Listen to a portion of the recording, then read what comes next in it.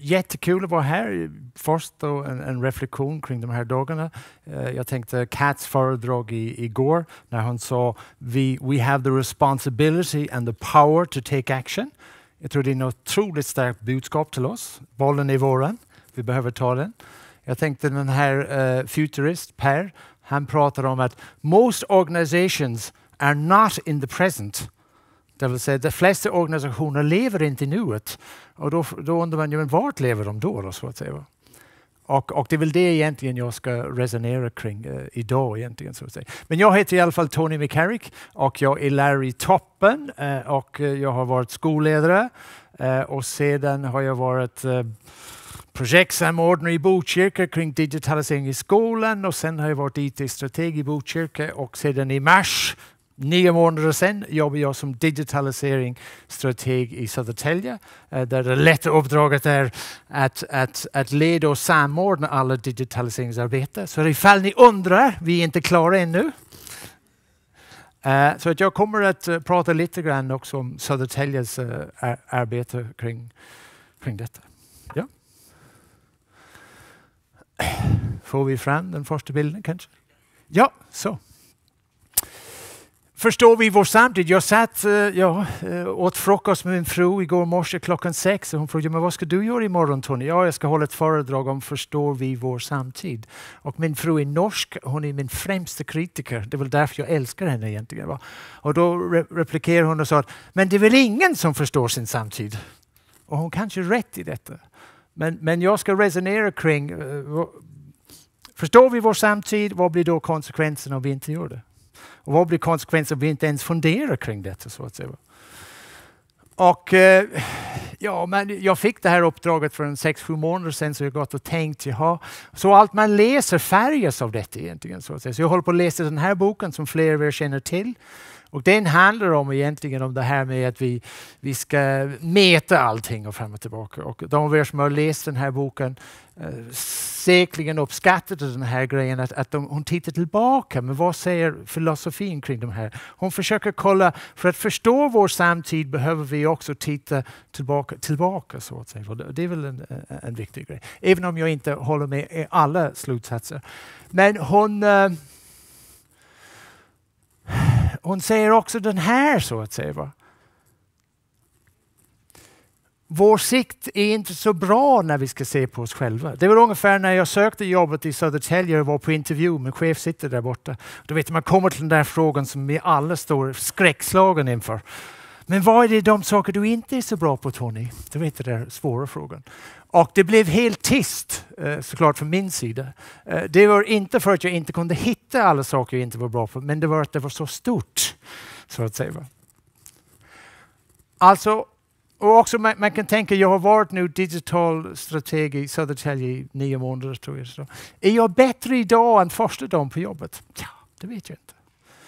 Är det så att det alltid man blir bättre ju längre man håller på med någonting? Det är inte säkert. Bäst i världen tänkte jag ska resonera om. Jag tycker att jag hör den här hela tiden. Jag tyckte jag hörde det idag tidigare i morse, den här handlingsplanen och vi ska få bli bäst i världen. Vad, vad, vad menar vi egentligen med detta? Och eh, jag var på den här föredraget, eller den event kan man väl säga, i Almedalen som Hack for Sweden anordnade och civilminister var där, OECD var där, Dario Isaksson var där. En fantastisk föredrag. Men det här var rubriken när blir Sverige bäst i världen på digitalisering? Ja, och jag, jag tänker, vad betyder det att vara bäst på världen i digitalisering? Och är det verkligen en relevant fråga i vår värld? så att säga? Och när vi blir det, eller om vi blir det, vad händer sen? så att säga? Och grejen är, det är inte bara så att Sverige ska bli bäst i världen på det där. Vi ska också vara bäst i världen på, på skolan så att säga. Och vår, ut, vår utbildningsminister, tror det var i våras, uttalade ungefär så här. På 50-talet var vi bäst i världen inom skolan. Och vi ska tillbaka dit igen. Är detta en relevant reflektion? På 50-talet då medelår som man gick i skolan var 3,2 år globalt. Idag är det 7,8 ungefär. Den har fördubblat. Världen på 50-talet som ni väl vet såg ut på ett helt annat sätt. Då kanske man skulle kunna säga att lilla Sverige uppe i Norden skulle vara bäst i världen. Men vad betyder det? Och vad är det budskap vi, vi ger? Och det är väl inte bara det dräller av också kommuner som är också bäst i världen kring digitalisering. Och det dräller också av förvaltningar som ska bli bäst i världen. Och sen är det skolor som också bli bäst i världen. Och många gånger när man pratar om digitalisering i en global kontext och också här i Sverige, man pratar om det absolut viktigaste är att vi ska hjälpas åt. Hur ska vi hjälpas åt? Men om du säger att du är bäst i världen, varför ska jag samarbeta med dig? Hjälper det oss i vårt väg framåt? Och den här Kat, hon, hon hade en, en, rubrik eller en, ett, en uttalelse ungefär så här. Tell me who you love and I will tell you who you are. Man kan också översätta det till Tell me the words you use and I will tell you who you are. Vad betyder det när vi ska vara bäst på allting? Och är det verkligen ett relevant? När jag, i Sing när jag var i Singapore för några år sedan, det som slog mig framför allt i deras arbete var fruktansvärt ödmjukheten, ödmjukheten i arbetet. Så imponerande. Där de jobbar med samsyn, där de jobbar med kritiska granska varandra för att försöka att barnen skulle få lära sig lite mer. jag slog upp, jag har inte svenska som modersmål, det hör ni. Då slog jag upp, men vad betyder bäst egentligen? Främst, ypperst, nummer ett, mest begåvat. Mest begåvade kommun. Det är väl ingen som kanske uttrycker det så. Näst fördelaktigt, finast. Det var snyggt. Alltså de här orden, är det så att vi använder ord och begrepp som, som kanske inte är relevanta längre? Kan det vara så? Jag tittade på värdegrund och då tänkte jag, eftersom det här är skolan, jag tittade lite grann på Skolverkets värdegrund. Jätteviktig fråga. Otroligt viktigt budskap till våra barn. Det står ingenting där om vad bäst. Eller? Det står väldigt mycket om utveckling. Det står väldigt mycket på samarbete. Det står väldigt mycket om tillit.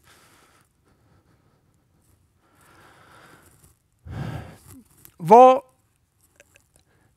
säger vår, vår omvärld i den här eh, föredraget som jag var i Almedalen? Då hade vår civil, civilminister beställt en, en, eh, en rapport om, om hur det ser ut med, med Sverige och digitalisering. Jag ska, hela rapporten finns där så det, det är väl inget konstigt. Eh, men jag ska ta några saker som de säger där egentligen. Vad de säger egentligen är att Rent infrastrukturmässigt, och det säger också World Economic Forum, ligger Sverige topp 10 i världen kring infrastrukturen.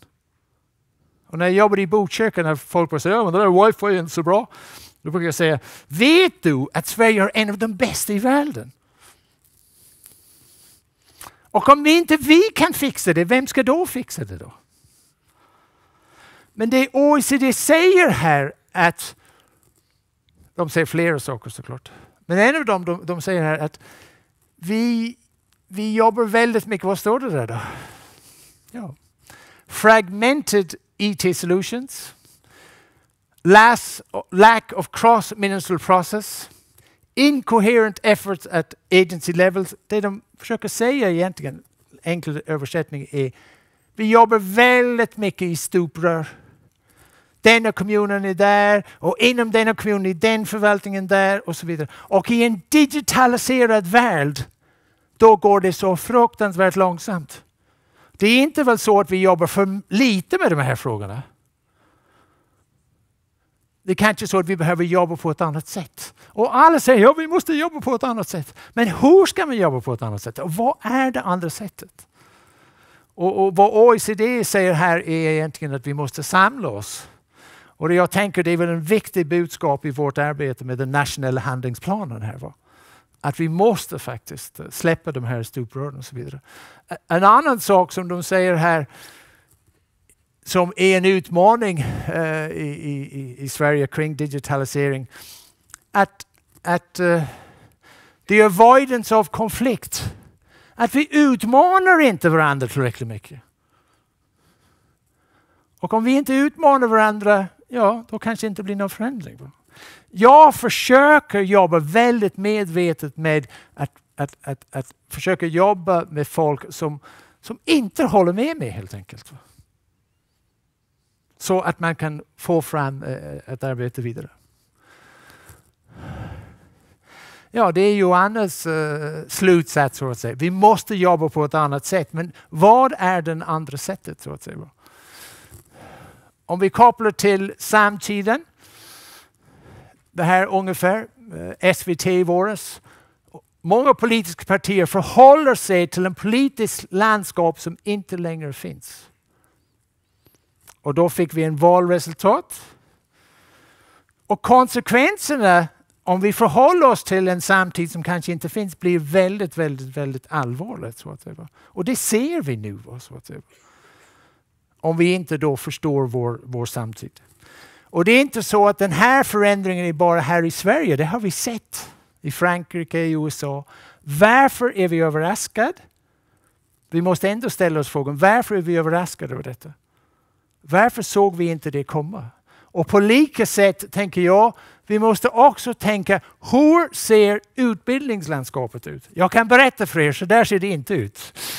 Ja, men, ni förstår. men vi måste ändå ställa oss den här frågan. Är det så att vi förhåller oss till ett landskap som kanske inte längre finns, då kanske det är så att vi tar massor med beslut och strategier och koncept som inte är relevanta. Joanne Barnemark hon, hon pratar om det där med, med kvalitet. Eh, vad är det goda? Hur ska man mäta det? Eh, den här professor Geo Bolin är förmodligen den person jag har lär, lärt mig mest av egentligen i, i mitt uh, yrkesliv. Jag var hans elev på, i början på 90-talet. Började bygga gitarrer. Och han var en världsnamn. Han lever inte längre här, Geo Bolin. Men när han byggde den här altgitarren som han fick eh, väldigt mycket eh, uppskattning runt om i världen kring. Det han var bäst på var just det här med ljudet. Vad var kvaliteten när man bygger en gitarr? Jo, det är klart att den ska hålla ihop, det ska vara snygg, det ska vara spelbar. Men det där hjälper egentligen ingenting om inte ljudet är riktigt, riktigt bra. Så när han byggde den här gitarren, satte den på strängarna och lyssnade på den, hade han ett fantastiskt öra. Det var det som var grejen.